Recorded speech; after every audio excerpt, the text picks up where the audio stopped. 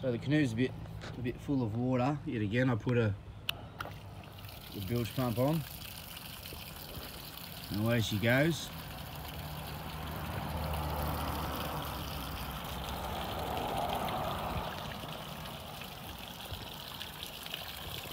She is chockers. Pull right up to the seat. Gives me all the confidence in the world in my fiberglass job. She is strong. So yeah, if anyone builds one of these sailing canoes, make sure you put a bilge pump in your sailing canoe. Save you a heap of dramas. Like, like 20 bucks or something, bugger all. Connect it up to your second battery. Boom, done.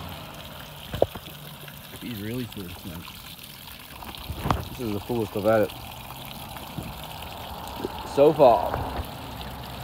Oh.